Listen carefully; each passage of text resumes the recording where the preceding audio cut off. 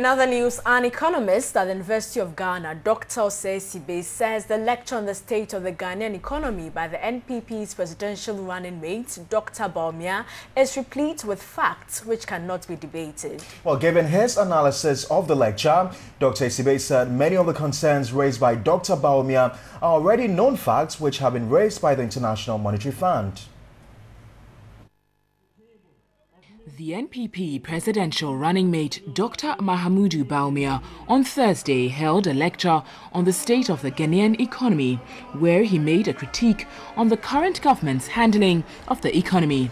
According to him, the NDC government has failed to put good use of the huge loans it has contracted, saying it is not commensurate to the infrastructural development we've seen so far.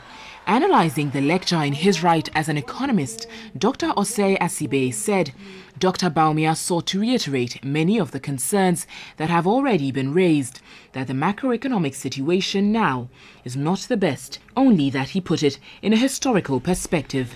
According to him, many of the issues raised by Dr. Bawumia are facts which makes it highly undebatable. You can attack the opinions that were expressed. Government will have the right to attack the opinion, but where it's facts, then it's difficult. For example, if you say that uh, the growth rate, you know, as at uh, 2008, we grew by about 9.2%, and now we are growing at 3.9%. This is a statement of facts and this is well documented in government's own report.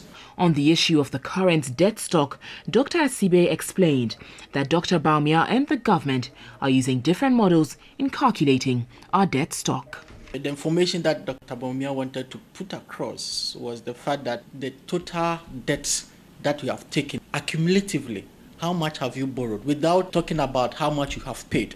Government is looking at the debt that currently exists in our book you know, so taking out all those that we have already paid.